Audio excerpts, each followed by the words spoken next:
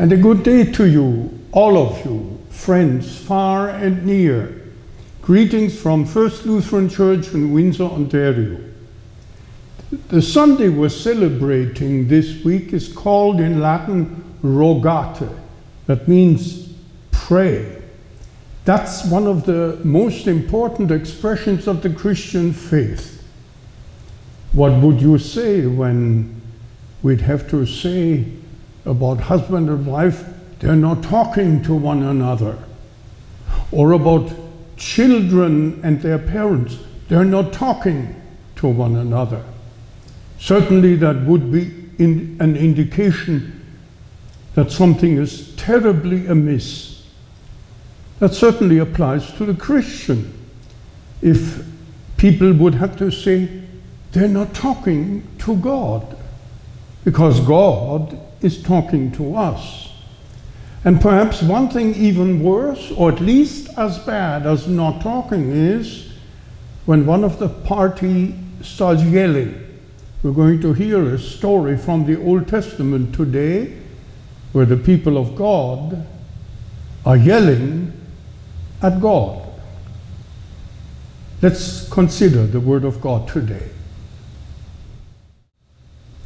In the name of the Father, and of the Son, and of the Holy Spirit. Amen.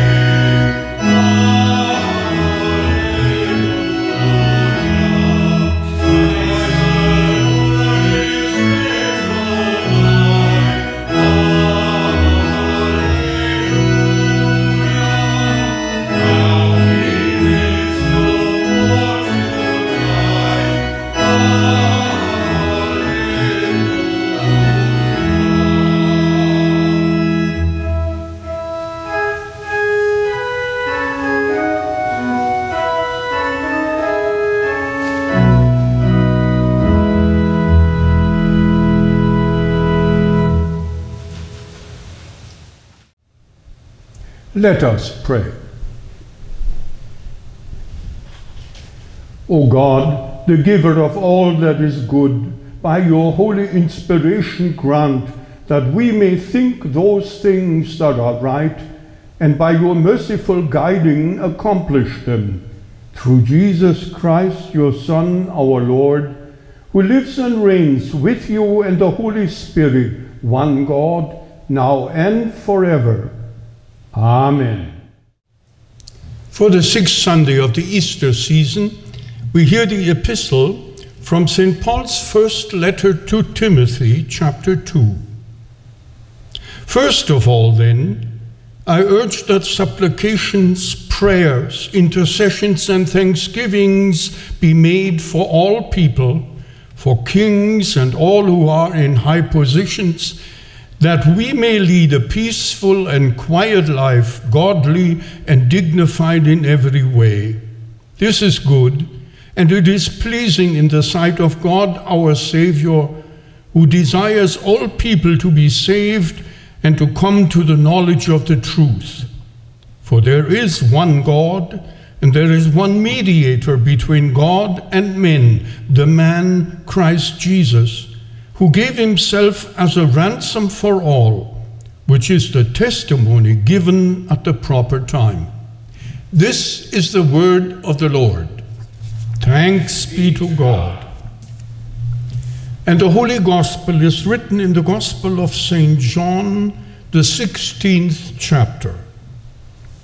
Jesus said, In that day you will ask nothing of me. Truly, truly, I say to you, Whatever you ask of the Father in my name, he will give it to you. Until now, you have asked nothing in my name.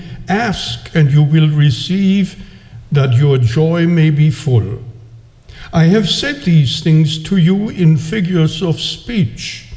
The hour is coming when I will no longer speak to you in figures of speech, but will tell you plainly about the Father. In that day you will ask in my name, and I do not say to you that I will ask the Father on your behalf, for the Father himself loves you, because you have loved me and have believed that I came from God. I came from the Father and have come into the world, and now I am leaving the world and going to the Father. His disciples said, Ah, now you are speaking plainly and not using figurative speech. Now we know that you know all things and do not need anyone to question you. This is why we believe that you came from God. Jesus answered them, Do you now believe? Behold, the hour is coming, indeed it has come when you will be scattered, each to his own home, and will leave me alone. Yet I am not alone, for the Father is with me. I have said these things to you, that in me you may have peace. In the world you will have tribulation, but take heart. I have overcome the world. This is the gospel of the Lord. Thanks be to God. We confess our Christian faith in the words of the Apostles' Creed. I believe in God, the Father Almighty, maker of heaven and earth, and in Jesus Christ, his only Son, our Lord, who was conceived by the Holy Spirit, born of the Virgin Mary, suffered under Pontius Pilate, was crucified, died, and was buried. He descended into hell. The third day he rose again from the dead he ascended into heaven and sits at the right hand of God the Father Almighty. From thence he will come to judge the living and the dead. I believe in the Holy Spirit, the holy Christian church, the communion of saints, the forgiveness of sins, the resurrection of the body, and the life everlasting. Amen.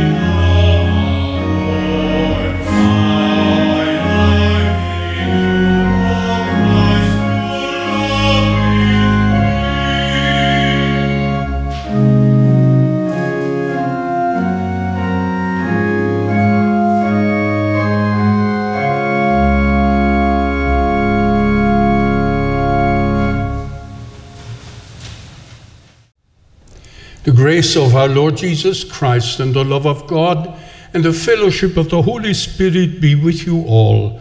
Amen. The basis for our meditation on Rogate Sunday is the Old Testament lesson appointed for this day, written in the book of Numbers in chapter 21. From Mount Hor, Israel set out by the way to the Red Sea to go around the land of Edom, and the people became impatient on the way.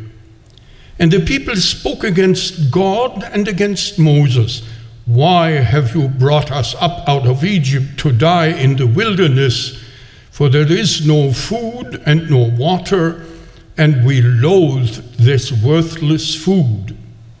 Then the Lord sent fiery serpents among the people, and they bit the people so that many people of Israel died. And the people came to Moses and said, We have sinned, for we have spoken against the Lord and against you. Pray to the Lord that he take away the serpents from us. So Moses prayed for the people. And the Lord said to Moses, Make a fiery serpent and set it on a pole, and everyone who is bitten, when he sees it, shall live.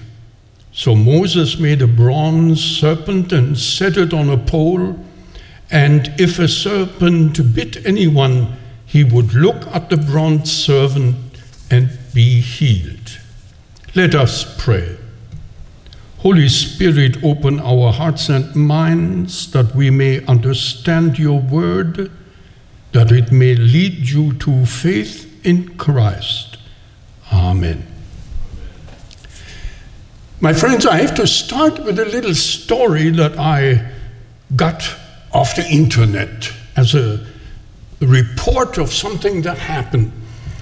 There was a fast food company in the city of Istanbul, and they hired people, including somebody who would drive around to, to deliver the various hamburgers that people had ordered. And one of the conditions of his employment contract was that he would receive and eat one hamburger at lunch every day. But after a while, that got to be a drag for that driver, and he protested. And he was dismissed from that particular job. So he went to court. And the judge found that a hamburger every day, day after day, lunch, hamburger meat, is almost an attack on human dignity, and he judged that this man deserved monetary compensation.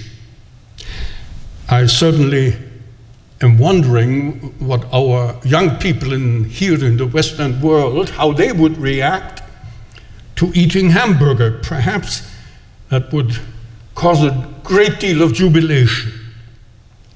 Here in chapter 21 of the book of Numbers, we seem to read a similar story. There had, there had been difficult times. For almost 40 years, the Israelites had to plod their way through the desert, and on the menu every day, manna. Manna. Manna every day. Only occasionally, there was added a little meat from quail birds. No wonder we might think that they were just fed up and they said, We loathe this worthless food, as they complained. But the Israelites did not get compensation after their complaint. The, Moses did not commiserate with them and their complaints. He didn't say, You poor guys, I feel for you. On the contrary, they found out that their protests, which were really directed against God Himself, would cost them dearly, for some, even their lives. And the proof is God is not mocked. Now, what are we, the people of the 21st century, members of the Christian church, going to do with an Old Testament story about the protest against the menu? Should this be our lesson? Keep your mouth shut, just keep your head down, put up with whatever God puts on your plate. Sisters and brothers, let's take a careful look at the text to find out why such a story is presented to us in the Bible. The people of Israel were on their long journey coming out of slavery in Egypt, traversing the desert, and by now most of the way was behind them. They were close to their goal.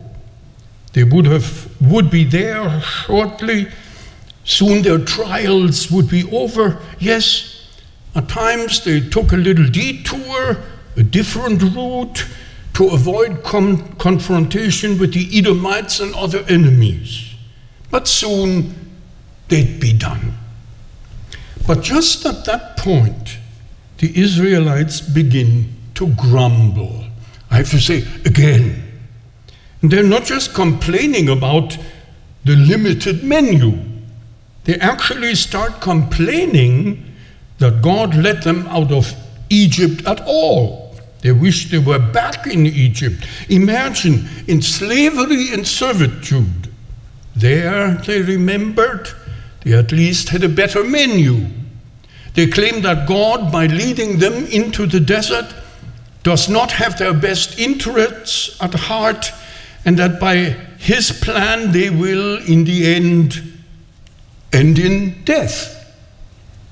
They're just fed up with the way God is leading them. They're not convinced about His loving care, even though without the manna, they wouldn't have survived even to this point. Manna saved their lives. My friends, consider this for a moment. Hearing this story, is it like looking into a mirror and seeing ourselves? You and I, we have a much greater promise, the promise of salvation. By the way, that was much more significant than what the Israelites had been told. We were granted salvation from eternal death and damnation in our baptism. Through that, the Holy Spirit called us to faith in Christ, gave us fellowship with the living God. And because of that, one would expect that our joy about this salvation would imprint itself on our daily life, that we would marvel about the fact that from our baptism on, God took us by his hand and now leads us from day to day to endless glory. On the way, strengthened by the New Testament manna, Holy Communion. Now, in regard to God's gifts in our lives, we can be rather forgetful at times, right? Forgetting that we people who have been called to salvation, but so often we are dissatisfied with the things that sometimes make our life difficult and present us challenge and make us struggle. When we go to church, is it not just like last Sunday? The same elements at Holy Communion, ordinary bread and wine, nothing spectacular.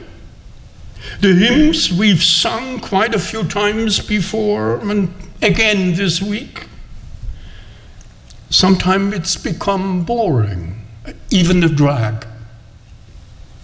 By the way, it's one of the great disappointments for pastors and for congregations that after their baptism, their instruction in the faith, their participation in the life and worship of the church, some of the believers that they have taught and nurtured grow tired, neglect worship, and then rarely attend the Lord's table. For them, there are so many other opportunities that seem to make life more interesting, more exciting, more fulfilling, even. But this is to forget that we're all on the way to a common goal, admittedly, at times facing difficulties and problems. But this is entirely short sighted, indeed dangerous, to leave this road, to go off on a tangent and net, not let God's source of power strengthen you on life's journey. And that's what the means of grace are all about, especially the sacrament of Holy Communion. And my friends, Holy Communion is not just like a hamburger, obviously. You can replace a hamburger with many other versions of fast food. But for Christians, Holy Communion is the indispensable and irreplaceable power source that our loving God has provided so that we might be nurtured for life's challenges. Not to make use of it, that's like turning away from God to seek help from something or someone else. Our Bible text tells us that the Israelites very directly came to feel the consequences of their rebellion against God and their complaint about this particular nourishment that God had granted them. We read, The Lord sent fiery serpents among the people, and they bit the people, so that many people of Israel died. Pretty terrible, isn't it? But God's judgment today can be even more terrible. For instance, when He does not stop us, when we continue to act against His will or reject Him outright, when we refuse to listen to His word or despise the sacrament that Christ our Lord has instituted for our benefit, or when we search for a more exciting, more adventurous life, but do so with, without or even apart from God, then we will find nothing but death. God does not want that. He does not want us to perish, but to have everlasting life. Now, usually, God does not send poisonous snakes to punish us as he did to Israel in response to their rebellion. But he does sometimes allow things, events, situations that show us, if we disregard him, that God is not mocked. Now, should lead us to the recognition we have sinned and cannot help ourselves.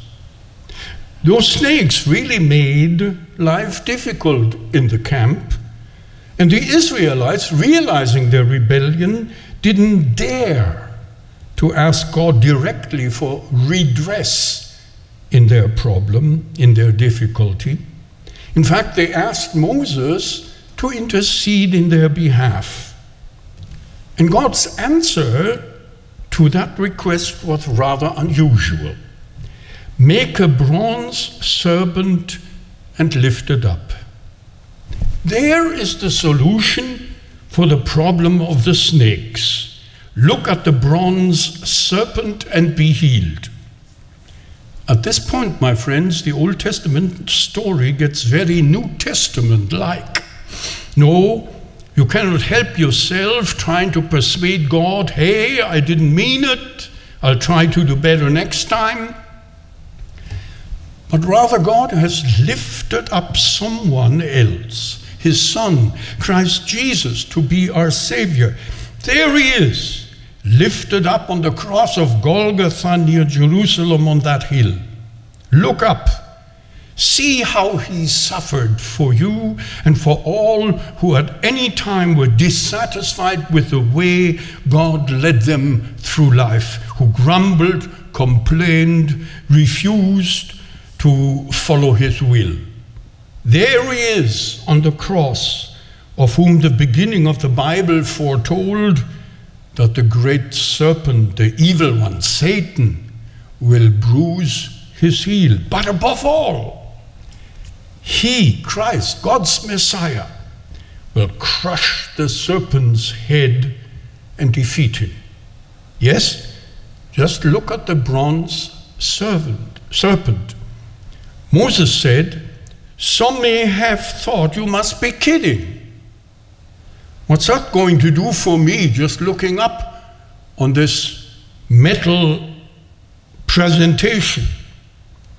But those who took Moses at his word, or better yet, took God at his word, those who actually believed him, who took comfort in that promise, accepted that invitation, they looked on the bronze serpent and they lived. Yes, take a look. Not at anyone or anything else, but look there on the crucified Christ, now gloriously risen from the dead. He comes into our life through the message of the gospel, through the saving gift of baptism, through dispensing of his body and blood in the sacrament of the altar. So, only those who believe that the gospel of Christ is the solution to the problem of eternal death they will be saved.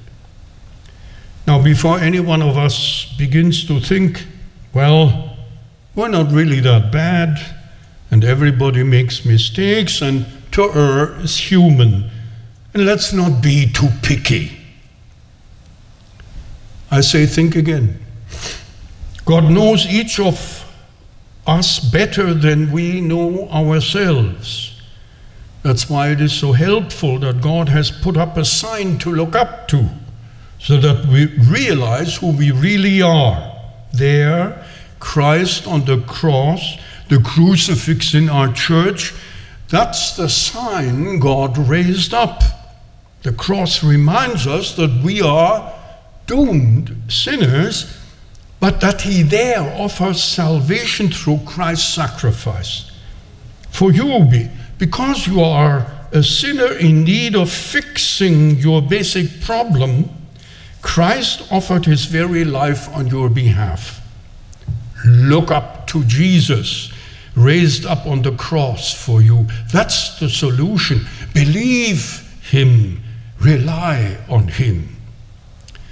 There are, of course, many and various gifts with which God enriches our lives and the lives of those around us. But none of us possess all of these gifts, which leads some people to complain to God and perhaps even be jealous of the gifts that He presented to somebody else, their neighbor. But with the spiritual gifts dispensed in Christ's church, it is different. You can indeed have them all. And which are those gifts? Hearing the gospel and responding to it, especially as you hear the liberating pronouncement of the forgiveness of your sins, or receiving holy baptism and rejoicing that you are a child of God, being nourished and strengthened in your faith by the gift of Christ's body and blood in the sacrament of the altar.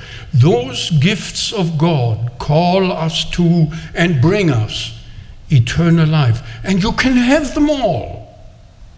However, we need to be reminded of one thing serpents will continue to be part of our lives. That is, there will continue to be difficulties, challenges, disappointments, illnesses, yes, even death, even while looking up to the crucified Christ. But none of those things can infect us with the worst of all things eternal death and damnation. The gospel of Christ calls us to Him, our Savior, and yes, it does so every day by baptism, he made us part of his family, and with the body and blood in Holy Communion, he strengthens our faith for whatever we may face on life's journey. That's a comforting word. That's encouragement for today and for tomorrow. Take God up on it. Amen. And the grace of the Holy Spirit leading us to Christ Jesus be with you all. Amen. Let us pray. Lord God, Heavenly Father, your Son has promised that if we ask, we shall receive. We know that our prayers are pleasing to you, since Christ has commanded us to pray and he promised to hear us. Lord, in your mercy, hear, hear our prayer. Lord, protect your church from complacency, anxiety over worldly things, and fear of persecution. Give us faithful pastors and church workers who proclaim your life giving word to us. Grant us zeal for the house of God and peace in our hearts in all our days. Lord, in your mercy, hear our prayer. Gracious God, soften the hearts in every home. Turn parents and children toward each other in love and patience Banish the spirit of impudence, stubbornness, and rebellion from all. Sanctify us in your truth. Your word is truth. Lord, in your mercy, hear our prayer. Eternal Lord, receive our supplications, prayers, intercessions, and thanksgivings for all civil authorities Give them the saving knowledge of Christ Jesus, our mediator, whose death is the ransom for all. Bless also their exercise of power for the common good, that we may lead peaceful and quiet lives, godly and dignified in every way. Lord, in your mercy, hear our prayer. Compassionate God, in the resurrection of your Son, you showed his victory over all griefs and sorrows, having carried them to the cross, breaking their power, and winning for us life and salvation. Grant your mercy to the sick and sorrowing, the grieving and dying, especially here in our congregation. Be with all those in need of our prayers, that by your merciful aid, and according to your gracious will, they may be upheld in their time of affliction, defended in their time of trial, guarded by your mighty protection, and according to your will, being granted healing from their affliction or entrance into your heavenly kingdom through the power of Christ's mighty resurrection. Lord, in your mercy, hear our prayer. Lord God, the children of Israel were impatient with you and Moses your servant. By their words they showed their discontent with your gracious gifts. Work in us true fear of you, that we may not be destroyed in this life or the next by such sinful folly. Lord, in your mercy, hear our prayer. Heavenly Father, you have attended to the voice of our prayers, for you have commanded us to pray and you have promised to hear us. Let your mercy sustain us when we heartily and fervently pray to you at all times and in all places, trusting in your promise through Jesus Christ, your Son, our Lord, who lives and reigns with you and the Holy Spirit, one God now and forever. Amen. I now invite you to join in the prayer that our Lord Jesus Christ taught us. Our Father, who art in heaven, hallowed be thy name. Thy kingdom come, thy will be done on earth as it is in heaven. Give us this day our daily bread, and forgive us our trespasses as we forgive those who trespass against us. And lead us not into temptation, but deliver us from evil. For thine is the kingdom and the power and the glory, forever and ever. Amen.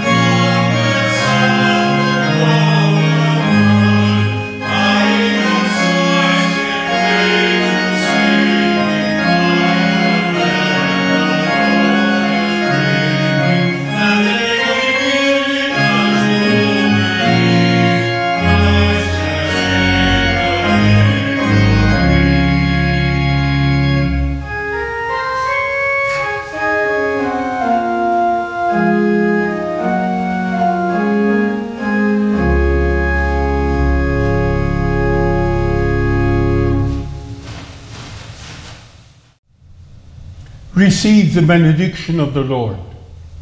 The Lord bless you and keep you. The Lord make his face shine upon you and be gracious unto you. The Lord lift up his countenance upon you and give you peace. Amen.